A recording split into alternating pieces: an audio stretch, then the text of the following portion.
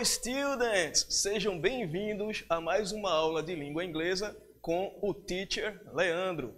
Meus queridos alunos dos sextos anos, hoje o conteúdo que nós vamos estudar é muito simples, muito prático e vocês vão gostar bastante, certo? Vamos estudar hoje os demonstrative pronouns, que são os pronomes demonstrativos da língua inglesa. Let's go! Ok, como eu sempre faço, pessoal, antes de explicar algo em inglês relacionado à gramática, eu gosto que o aluno tenha uma noção deste conteúdo de acordo com a gramática do português. É por isso que eu sempre digo para vocês, estudem as 10 classes gramaticais da língua portuguesa, porque assim você vai ter facilidade para aprender não só o inglês, como qualquer outro idioma, além de ajudá-lo também nas provas de língua portuguesa. Então, vamos lá. Qual o conceito de pronome? Eu já expliquei isso para vocês anteriormente. Né? O pronome é a palavra que acompanha ou substitui o nome. Existem vários tipos de pronomes e hoje nós vamos estudar os pronomes demonstrativos. E a função específica de um pronome demonstrativo é apontar algo ou alguém no espaço. Quando eu digo espaço, não é o espaço sideral não, certo? Estou apontando alguém que pode estar aqui do meu lado, alguém ou algo, alguém que está ali do outro lado da sala e assim por diante. Tá bom? Então, quem são os pronomes demonstrativos da língua inglesa?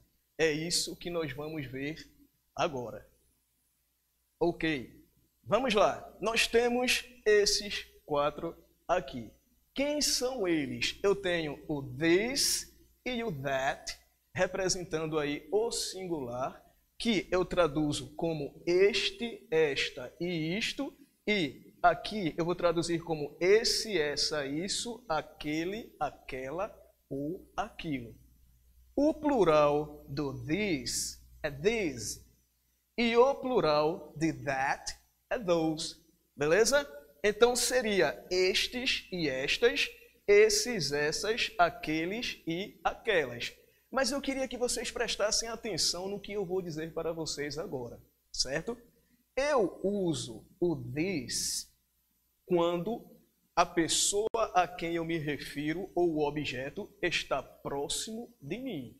Tanto o this como this, beleza?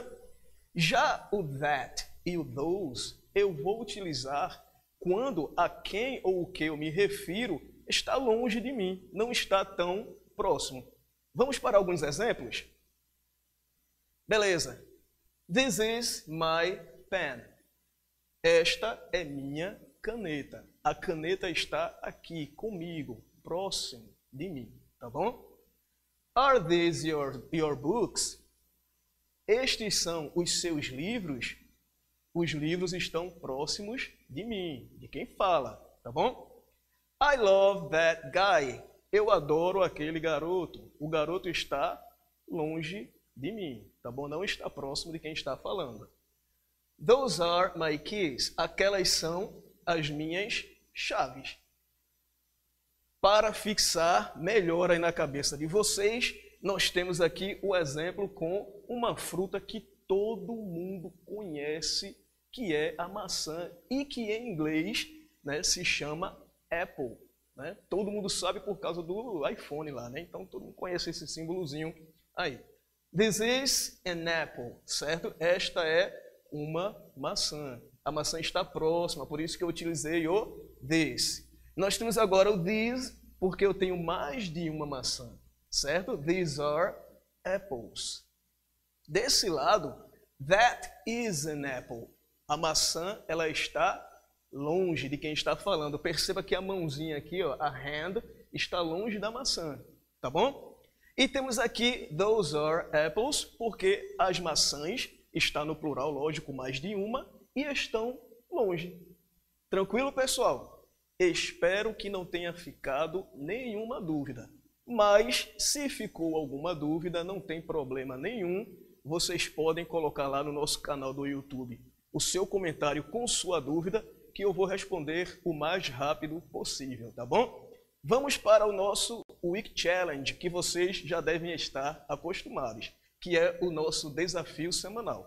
Vocês já sabem o que fazer, mas mesmo assim eu vou repetir, porque tem gente que está assistindo aula agora pela primeira vez. Então você vai pegar a câmera do seu celular, vai apontar aqui para a tela da TV e automaticamente você vai ser direcionado para um game ou um desafio e é sempre a respeito do que nós estudamos. Então é muito importante que você faça esse desafio, porque nós precisamos saber se você está acompanhando as nossas aulas e está entendendo tudo que está sendo passado.